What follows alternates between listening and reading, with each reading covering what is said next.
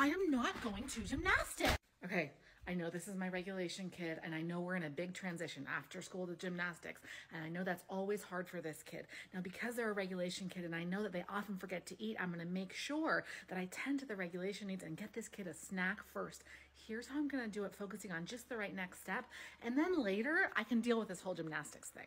Backpack down. Over to kitchen. I don't wanna go. Let me get your yogurt. Oh, Hate gymnastics. Sit here.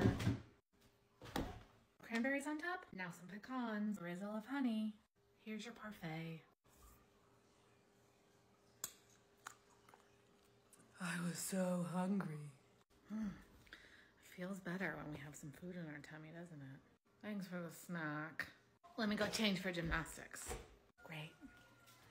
When your kid gives you this kind of resistance, the very first thing I want you to do is think about why, and then I want you to address that concern. For this child, the dysregulation comes from not reading body signals and not eating frequently enough. And so mom knows that through a transition, which bears a really high cognitive load, she's got to get this kid an after school snack, and then they can deal with gymnastics. It wasn't actually about gymnastics at all. It was about the dysregulation, and that's what she addressed. Now, some of you are going to say, but what if the kid really does hate gymnastics? Well, then you got to deal with that. But that's not always the case. Sometimes this stuff bubbles up and it's more about the transition and the dysregulation, and that is what needs to be addressed. And that's what happened here. If you have regulation and transition problems, let me know in the comments what helps your child to get through.